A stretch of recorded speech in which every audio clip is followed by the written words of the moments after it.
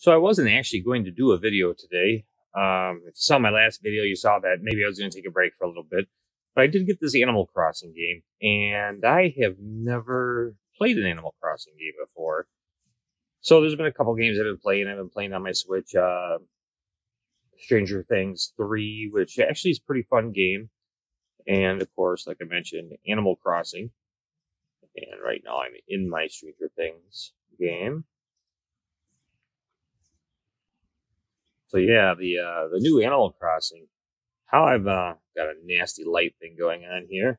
I don't know if I can block that or not, but ah, there we go.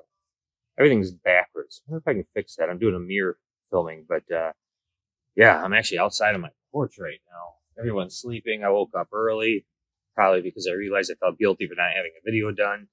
Um, so I figured I'd wake up and do a video. But uh, funny thing is, how have I not known about this game? This thing is so creepy.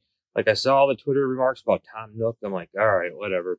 Um, this thing is insane. Um, just the cultish feel you get right away when you're playing it. I'm thinking it's a children's game. Probably still is a children's game. I might be reading into it too much. I haven't cooped up for a while. Um, but uh, yeah, it's um, kind of liking it, just on its creepy level alone. Uh, it's got a weird little Sims feel, which I always kind of actually like the Sims games a little bit. Um, I don't play them myself anymore. My daughter actually plays them. She's actually been getting back into them. Uh, quarantine, fun thing. Um, but yeah, this is uh, this Tom Nook. If I'm saying his name right, even I'm so tired right now. Um, right off the bat, you get this creep vibe from them, and the other people on the island. You're just like, what the hell is going on?